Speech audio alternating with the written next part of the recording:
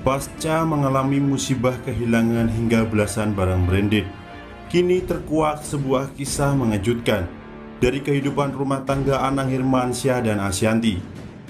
Ternyata beberapa hari ini dugaan tentang si pelaku unteng maupun KD itu salah. Yang sudah mencuri tas branded dan barang berharga lainnya bisa jadi selingkuhan Anang Hirmansyah Bagaimana tidak, Bayang-bayang pelakor kini menghantui keharmonisan rumah tangga Anang Hirmansyah dan Asyanti.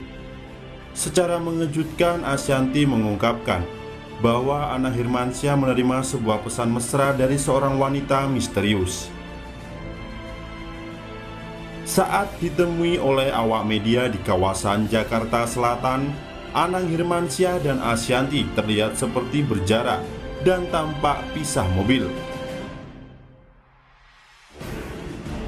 Sehingga muncul dugaan Asyanti dan Anang saling menghindar. Asyanti juga tampak lesu saat menjawab pertanyaan awak media Perihal barang-barang mewahnya yang hilang. Dan Asyanti tidak terlalu banyak membicarakan Perihal kehilangannya tersebut.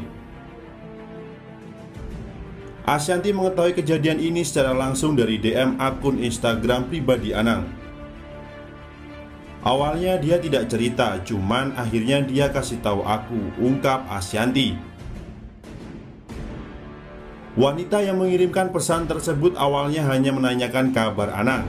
Setelah itu wanita tersebut meminta ketemu dan minta dibuatkan lagu oleh Anang. Tanpa berprasangka buruk, Anang Hirmansyah menyuruh wanita tersebut untuk datang ke studionya. Namun, wanita tersebut tidak mau ketemuan di studio Anang.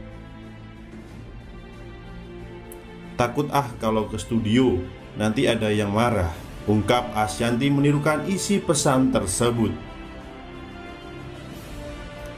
Asyanti mengakui ia merasa jijik ketika melihat isi DM tersebut Dan merasa wanita ini sangat genit.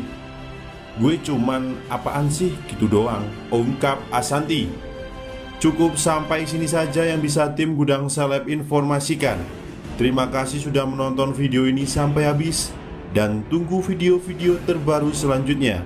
Satu lagi, jangan lupa subscribe dan tinggalkan like untuk terus mendukung channel ini.